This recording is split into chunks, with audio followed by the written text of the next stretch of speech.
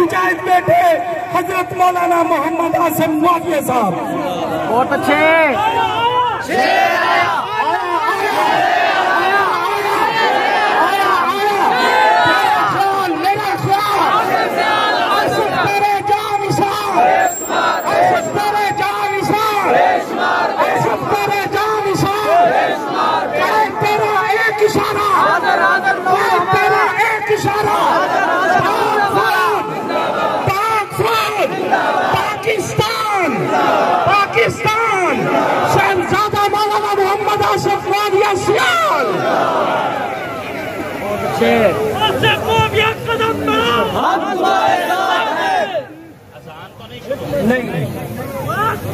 खामोश है खामोश नहीं शुरू हो रही नहीं नहीं।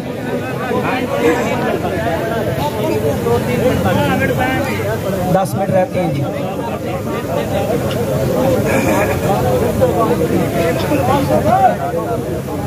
बिस्मिल्लाहिर्रहमानिर्रहीम।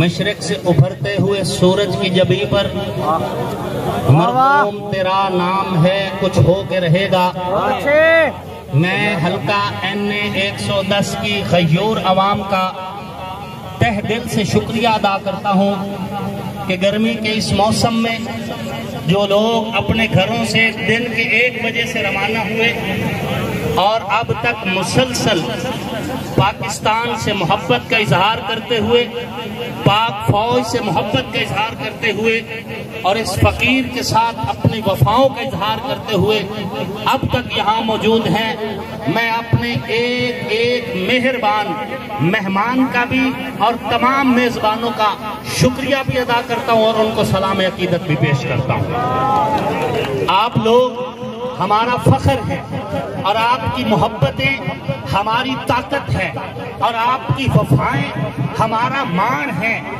और इसी वजह से अल्हम्दुलिल्लाह जिस दौर में भी हम रहे हैं, सर उठा के रहे हैं और अल्लाह के फजल करम से बाइज्जत तौर पर हमने अपने हल्के की आवाम की खिदमत की है और भरपूर तरीके से खिदमत की है। सामीन मोहतरम, आपने आज इतनी बड़ी तादाद में इकट्ठे होकर ये साबित किए कि ये पूरा मुल्क पाकिस्तान से मुखलिस है, पाक फौज से मुखलिस है, पाकिस्तान के इदारों से मुखलिस है।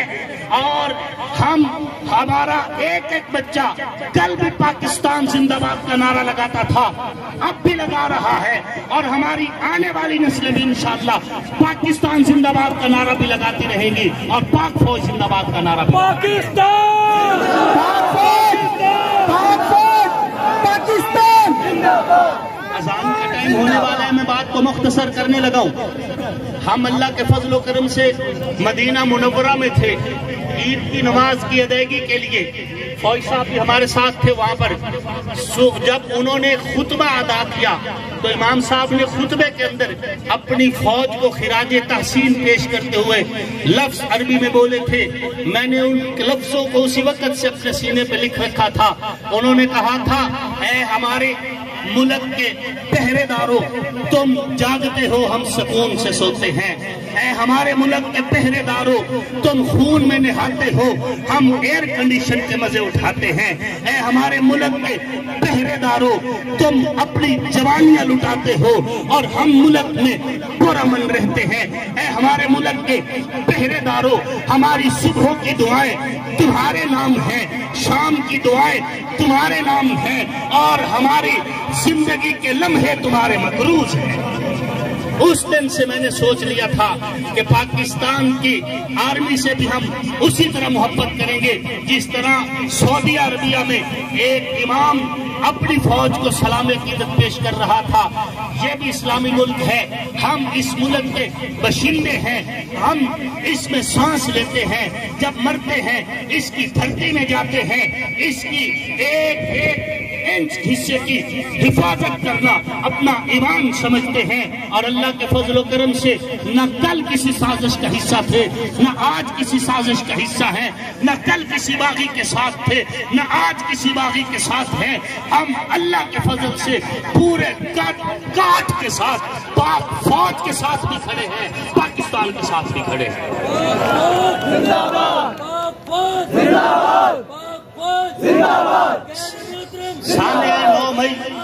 ये कितना शर्मनाक मामला है कि एक सियासी लीडर की गिरफ्तारी पर उन शहीदों के, उन शहीदों के फ़ोटो जला दिए गए। उनकी यादगारें जला दी गई और जिन्होंने अपनी जवानियाँ कुर्बान की और आज तक हम यहाँ मुल्क में सुख का सांस ले रहे हैं। हम मजम्मत करते हैं और कतन ऐसी सोच, ऐसे नज़रिया की हौसला अफजाई नहीं की जा सकती। तुम सिर्फ़ फेसबुक पे टू टू कर सकते हो टाउ टाउ लगा सकते हो। हम तुम्हें ये कहना चाहते हैं कि तुम हमारी जात के खिलाफ अगर बोलोगे, मुमकिन है बर्दाश्त कर जाएँ। तुम हमारे खिलाफ बोलोगे, मुमकिन है बर्दाश्त कर जाएँ। हम शिद्दत का रास्ता ना इख्तियार करें, लेकिन अगर तुम पाकिस्तान के मफाद के खिलाफ निकलोगे, पाकिस्तान के मफादात को अपने निशाने पर रखोगे तो फिर याद रखना हमारे हाथ तुम्हारे वालों तक पहुँचेंगे। हम तुम्हें चौकों में चौराहों में गलियों में बाजारों में तुम्हारे साथ तसादम करेंगे। तुम्हें पाकिस्तान के मफादात से नहीं खेलने। अपने मोहतरम सामीन मोहतरम। पाकिस्तान है तो ये सारी रौनक है। और पाकिस्तान आज जिसका तो काट है, ये पाक फौज आईएसआई और इस मुल्क के इदारों की वजह से है। आप लोग आज हम यहाँ से ऐद करके जाएँगे कि कुछ भी हो जाए, हम अपनी सियासत को रियासत के साथ इस तरह जोड़ेंगे कि अगर किसी मौके पर सियासत की कुर्बानी देना पड़ी दे देंगे लेकिन रियासत की कुर्बानी नहीं देंगे पाकिस्तान का मतलब क्या? पाकिस्तान का मतलब क्या? पाक आर्मी पाक आर्मी और आईएसआई। हमारी जमात पाकिस्तान मुस्लिम लीग नून की क्यादत ने इसी मौके पर रियासत की कुर्बानी नहीं। आते रहे। अभी अजान होगी अजान के बाद मौलाना साहब का बयान होगा इंशाल्लाह।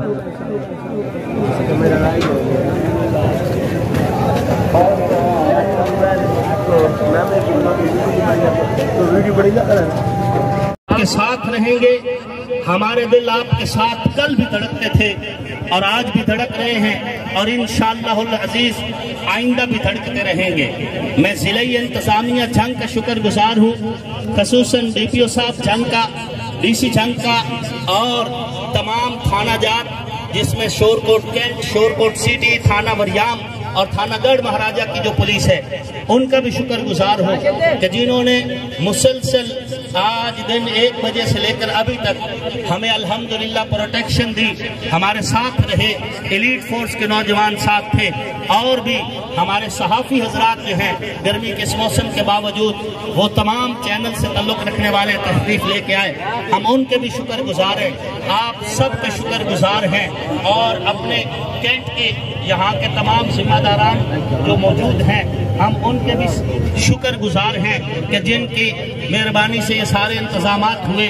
हमारे शोरकोट कैंट से ताल्लुक़ रखने वाले तमाम नौजवानान और इसी तरह पाकिस्तान मुस्लिम लीग नून के तमाम जिम्मेदारान और आप सब हजरात का और खसूस जितने भी हमारे उम्मीदवार यहाँ पे मौजूद हैं ये फौजी मोहम्मद रमज़ान साहब भाई इरफान हैदरी साहब भाई यूनुस तैयब साहब और इसी तरह सुल्तान सिकंदर फरमाना सियाल साहब। वो भी हमारी दावत पर तशरीफ़ लाए। उन समेत आप तमाम हजरात का तह दिल से शुक्रिया अदा करता हूँ। अल्लाह आपको दुनिया आखरत की भलाइयाँ और इसने नसीब फरमाए। आप अपने झंडे बुलंद करें झंडे लहराएँ अपने मोबाइल फ़ोन की लाइटें जो है बुलंद करें, ताकि आपके जो है तादाद का इजहार हो। अपने मोबाइल फ़ोन की लाइटें ऑन कर लें। तमाम दोस्त जिन जिन के पास मोबाइल फ़ोन है, अपने मोबाइल फ़ोन की लाइटें ऑन करें और परचम लहरा कर नारा लगाएँ। पाकिस्तान पाकिस्तान, पाक फौज पाक फौज आईएसआई आईएसआई शहदाए अफवाज पाकिस्तान। शहदाए तहरीक पाकिस्तान। शहदाए पाकिस्तान। शहदाए इस्लाम। पाकिस्तान। अल्लाह आपका और मेरा हामी और नासिर हो। ऐ दहकते हुए सूरज ये गवाही लिख ले। दिल को जख्मों से बहलने की भी खू आती है। आज भी अहद गुजश्ता की हर एक याद के साथ सांस लेता हूँ तो बारूद की बू आती है। अल्लाह रब्बुल इज़्ज़त आपका और मेरा हामी नासिर हो। मौलाना उमर दराज नारा साहब तशरीफ़ फरमा है। हज़रत मौलाना शहबाविया मैं उनका भी शुक्रगुजार हूँ। अल्लाह रब्बुल इज़्ज़त उनको भी जजाय खैर नसीब फरमाए। वमा